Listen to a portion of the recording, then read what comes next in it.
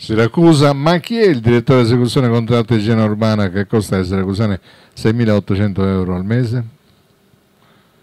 Chi è il direttore di esecuzione del contratto che regola il servizio di igiene urbana a Siracusa? Trattandosi di una figura che costa 6.800 euro al mese ai contribuenti siracusani, sarebbe forse il caso di dare una qualche indicazione sulla sua identità e su quali risultati abbia prodotto e in quali ambiti della raccolta rifiuti.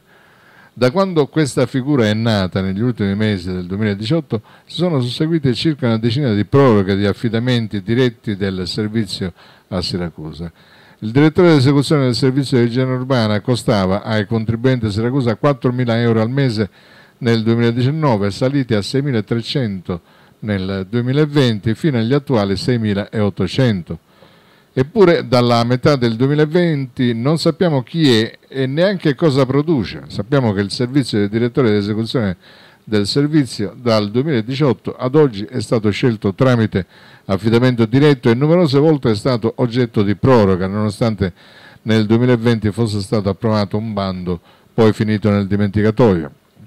Attenzione, affidamenti diretti legittimi consentiti dai decreti di semplificazione di questi anni. Bisogna capire però quanto opportuni, visto che si tratta del servizio probabilmente più importante per il comune di durata settennale.